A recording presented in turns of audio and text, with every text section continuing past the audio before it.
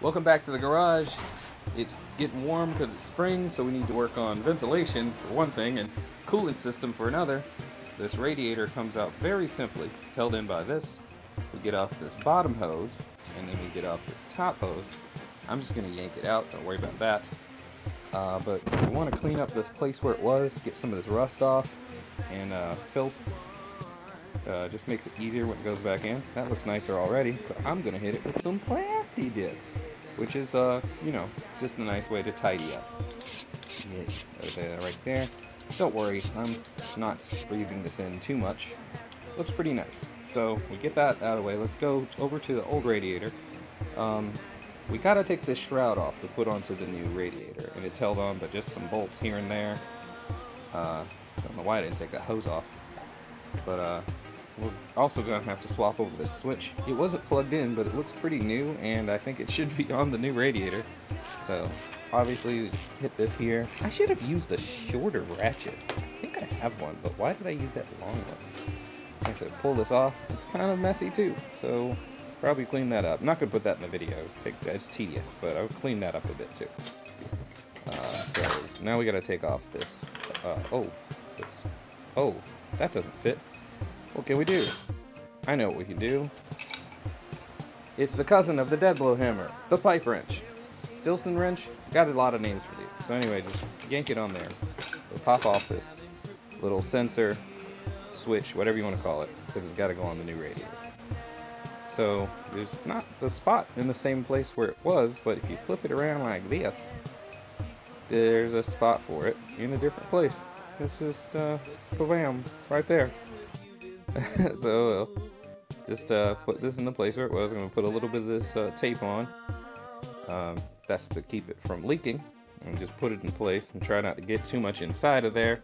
Be careful. And uh, then, of course, tighten it on with a Stillson wrench. Why did I make that noise? I'm sorry. So we got this kind of straightened up let's go ahead and put this on. I sprayed it just a little bit. I didn't want to make it look like I was going too crazy with it. And it attaches pretty much the same with the hardware that came off. Looks pretty nice, but it's very silver, and this is the side that shows on the grill, so I'm gonna go ahead and hit this with some regular flat black paint so that it uh, keeps with our look that we improved earlier, not just a bunch of radiator staring at us. The old radiator was also dark colored, so we're just gonna hit it with the paint and don't worry, I'm not breathing in all these fumes. Got a mask on. Be careful when you're doing stuff like this. Gonna shake up this paint. And we're just gonna lightly coat the, I mean that's sped up pretty much. I don't want to ASMR you to death. Here's our finished product. It's a nice piece. So before we put this in place, we're gonna address the thermostat.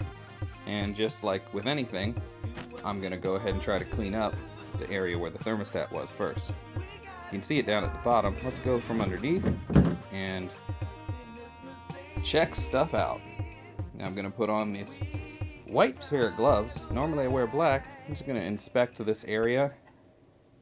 Well, that's that's oil. That's not a lot of oil. Well, let's check it. Oh no. That's a lot of oil. If you've got oil in your coolant system, that means the head gasket is blown. And that basically means the engine is ruined.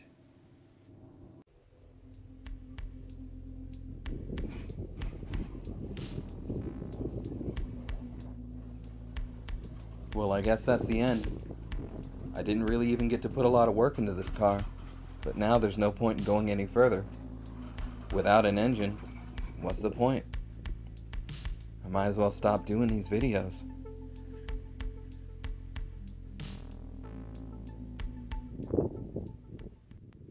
Psych! All the time I spend on the internet is finally paying off because I stumbled upon this almost a week ago. It's different than my original plans, but I guess this is what's going down. Stay tuned for upcoming videos on the diesel to gas motor swap. Thanks for supporting my Patreon and don't forget my catchphrase.